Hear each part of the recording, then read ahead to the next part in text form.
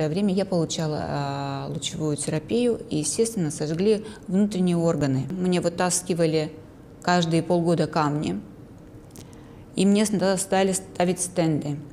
Это адские боли, потому что у тебя лучевая, что ты хочешь. Я думала, я покончу с собой. Я имею в виду постлучевой фиброз органов малого таза. Никто не брался из врачей, никто, а он взялся и провел такую сложнейшую операцию. Предположил о возможном успехе. На данном этапе я иду на выздоровление. Увеличили его объем за счет э, сегмента подвздошной кишки. Вот, э, полноценный человек я. То вот такая история нашего общего успеха, которая позволила пациентке выйти из психологического, морального и физического тупика. Ну, давайте попробуем. Давайте. Расскажите, что с вами произошло? Мой клинический случай не из легких, скажем, тяжелый даже. Это случилось почти 12 лет назад. Я заболела онкологией. Эту болезнь, слава богу, мы победили. Но, как известно, одно мы лечим, другое калечим. Естественно, так и произошло со мной. Через несколько, некоторое время я получала а, лучевую терапию, и, естественно, сожгли внутренние органы. Задели почки, задели кишечник. И, естественно, это все сказалось через некоторое время. Почки стали а, вести себя плохо, мочеточник тоже, мочевой, ну, в общем, то, что связано с почками. В чем это для вас выражалось?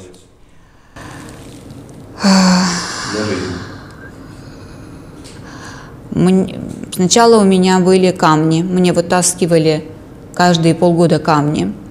Я лежала в стационарах постоянно, постоянно получала а, антибиотики, постоянно у меня были большие боли. А, то бишь я постоянно была вот в таком в напряжении и в таких болях. Потом это все усилилось, и, и мне стали ставить стенды с двух сторон. У меня стояли два стенда. Это было что-то, это было нечто, это ничего не сказать. Это адские боли, это каждые 2-3 недели промывка стендов – это каждые 2-3 недели антибиотики, это температура, это я, я от боли плакала.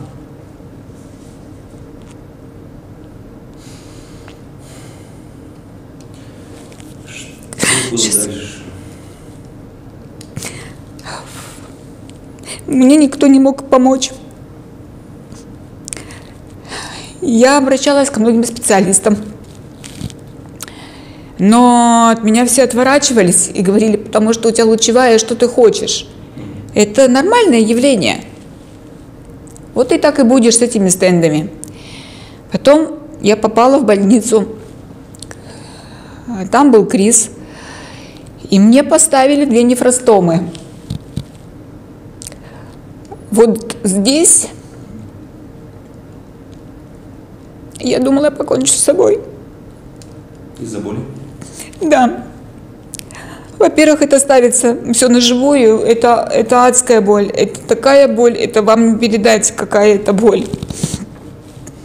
И ходить вот с этими двумя мешками по, по, по сторонам, то бишь не нормально не искупаться, то есть не одеться.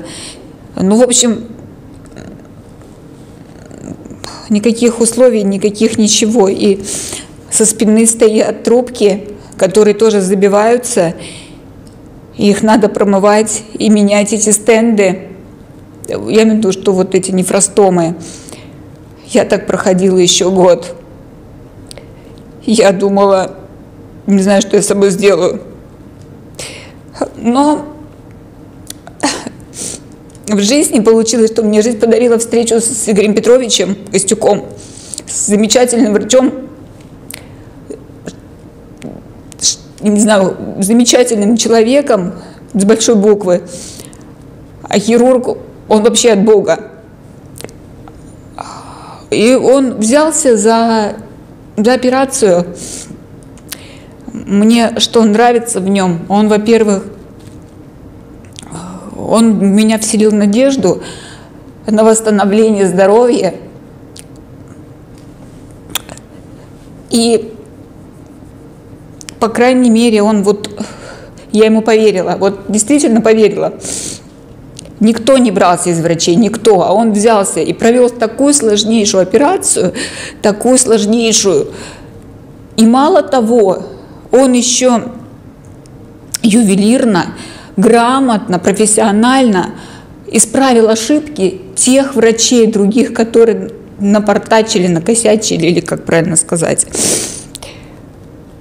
А, поэтому на данном этапе я иду на выздоровление только благодаря Игорю Петровичу. Вот, вот правда. На данном этапе у меня нету нефростома, у меня все, у меня все. Я восстанавливаюсь. Восстанавливается мой организм, восстанавливаюсь я и психически, и психологически, и морально, и в состоянии здоровья. То есть только благодаря Игорю Петровичу. Только. Замечательному хирургу, прекрасному человеку, я не знаю, вообще умница. После операции прошло три с небольшим месяца. А вы можете сейчас сказать, что вы чувствуете себя здоровым человеком? Ну, практически да, потому что я, я могу сама. Я действительно как бы самостоятельно, не надо мне никакой помощи, не надо мне ничего. Я не должна, вот у меня таких болей нету, нету этих мешков, нету ничего. То есть я живу полноценной жизнью, то есть вот э, полноценный человек я. А я еще хотела сказать, что у Игоря Петровича э, прекрасная команда, слаженная, слаженная. Вот у него вот молодежь сейчас вместе с ним работает. Он их ну, учит своему профессионализму вот это дело. У него очень хорошо получается. Ну, вот респект, честно. Я хочу вообще поблагодарить весь медперсонал, и, и клиники, и больницы за их просто за их отношение к нам, к больным, потому что они настолько чутко, настолько бережно, настолько вот к нам относятся, вот правда им низкий поклон. Вы не, не приходилось с таким сталкиваться ранее? Э, с таким отношением Нет. к Правда, вот действительно, вот э, отношения вообще, во-первых, здесь мы получаем квалифицированное лечение, здесь очень хорошие палаты, очень хорошее питание, очень хорошее ну, что лечение в полном объеме, что надо, все вот полностью обследуют, вся аппаратура очень хорошая, на высшем уровне. То, вот, то есть все условия созданы для того, чтобы мы ну, э, хотя бы вот с нашими вот болячками, с нашими вот этими пребывали более в комфортных условиях. То есть это очень тоже важно. То есть вот честно. Поэтому как-то хочется сказать им всем большое огромное спасибо. Вам спасибо за смелость. Очень мало кто соглашается рассказать о своей истории. И э, самые искренние пожелания, чтобы вы сохранили здоровье. Спасибо. До самой-самой глубокой старости. Спасибо. Дорогие друзья, я сегодня хочу вам рассказать э, одну короткую историю о лечении пациентки, которой удалось э, избавиться от э, очень тяжелого онкологического диагноза, но получить так, не менее тяжелое осложнение лечения. Э, я имею в виду послучевой фиброз органов малого таза, э, который э, протекает с очень тяжелой э, клиникой и сложными болезненными ощущениями для пациента. После успешной лучевой терапии у пациентки развился послучевой цистит, послучевые структуры обоих мочеточников. И с этим состоянием она жила достаточно долго. Э, сначала организм компенсировал эти проблемы, потом уже это было невозможно, приходилось э, многократно стентировать мочеточники, чтобы моча нормально отходила из поч от почек в мочевой пузырь. Э, тот становился все меньшего объема. Э, со временем стентирование уже не приводило к успеху, и пришлось поставить э, две нефростомы. Это э, отведение мочи через поясничную область справа и слева из каждой почки. И э, такая, такое состояние для пациентки было крайне болезненно, тяжелое, практически, ну, она, она не хотела жить в таком состоянии и думала о самых разных исходах из него. Она обратилась в несколько э, клиник, э, где ей последовательно в каждой попытались эту ситуацию исправить, но, к сожалению, по разным причинам это не привело к успеху. Эм, и в одной из клиник ей порекомендовали обратиться ко мне. Эм, я не могу сказать, что э, оптимистично э, смотрел на возможность решения этой проблемы, но, в общем-то, имея достаточно серьезный и большой опыт, в том числе и в, основ, в основном успешной коррекции различных проблем с мочевыделительной системой, с, с мочевым пузырем, с его различные варианты реконструкции пластики, э, описав э, потенциально и э, тяжелый путь реабилитации после даже успешного такого вмешательства, э, в общем-то, предположил о возможном успехе, если мы вместе, э, пациентка со своей стороны, э, а медицинский коллектив со, со своей стороны э, будут удачливы, их э, самоотверженные усилия увенчаются э, позитивным результатом. Э, в конце концов, э, к счастью, так и произошло, хотя путь был непростой.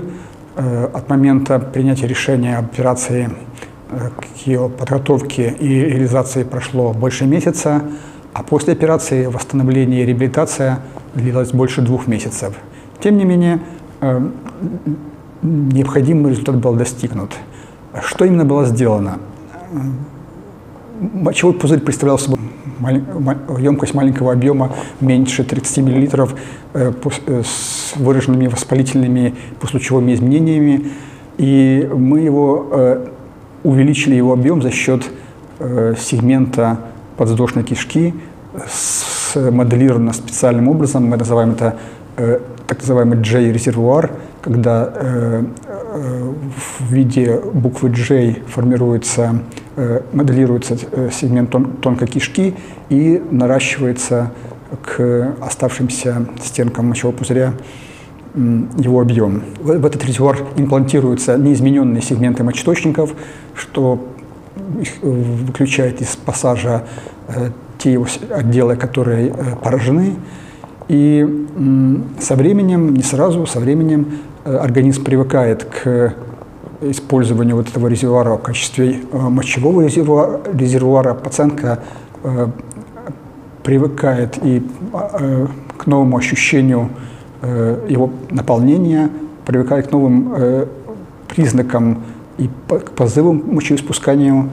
И со временем э, ее жизнь в этой части становится практически э, такой же, как до э, начала лечения и до, до получения всех э, указанных осложнений. Ну, вот если кратко, то вот такая история нашего общего успеха, которая позволила пациентке выйти из психологического, морального и физического тупика, а нам получить еще один э, позитивный э, импульс э, дальнейшей работы в этих, как бы, с этими непростыми э, пациентами и больными. Спасибо. Ну, они добрые, они, не знаю, они вот к нему хочет. Есть вот люди, которые вот тебе вроде ничего не сделали, а ты вот, ну, как бы и хочешь. Располагает, да, да, к себе? Да, а он вот такой Это вот прям вот, да.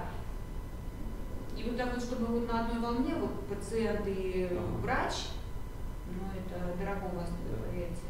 Это вот, чтобы слышали друг друга, чтобы вот Да. друг к другу относились как-то.